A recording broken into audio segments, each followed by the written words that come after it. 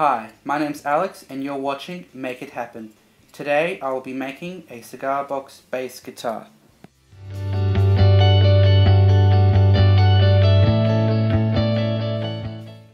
I would first like to apologise for the 4 month delay. I've had a few failed projects after the Ghostbuster build and lost motivation. But I'm all good now and I would like to thank all my new subscribers and all those who've waited. You guys are the best. Basically for this build, I've replicated the cigar box guitar build by NightHawkInLight. Should totally check out his channel for a more detailed description. The main difference between his guitar and my guitars, mine's a bass and I'll be building the box myself.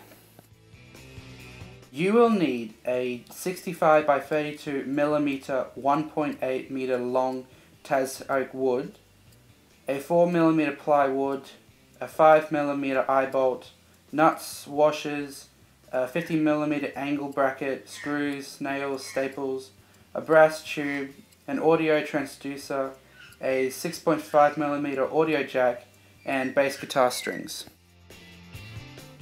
For starters, I took the piece of oak and cut it down to a length of 1.17 meters. This gives a length of 0.9 meter scale, a 0.14 meter head, and a 0.12 meters left for the body.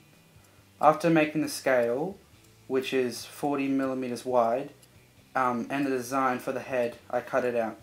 This can be done the way I did it with a series of release cuts and then knocked them down and then filed it to shape.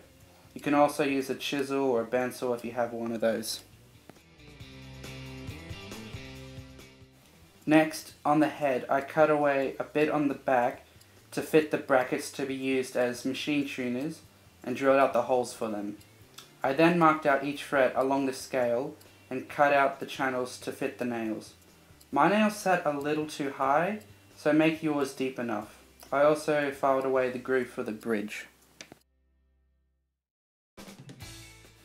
For the nut at the top of the scale, don't do what you see here.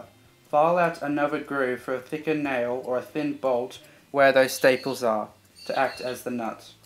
Then place those staples on the head to align the strings.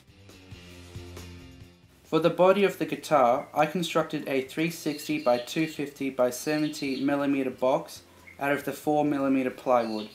You can build this box however you want. I cut out space to fit the neck of the guitar and a sound hole.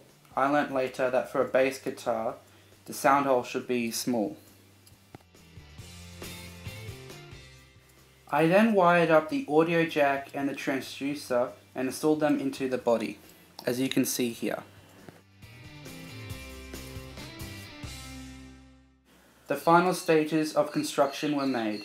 The nails, brass tube and staples were cut, glued and filed to shape. Now the neck and body can be connected. I used a clear timber varnish gloss paint to seal my wood but I should have used a clear varnish acrylic spray paint instead. Finally, it was time to string up the eye bolts and tune it. My very first homemade instrument was complete.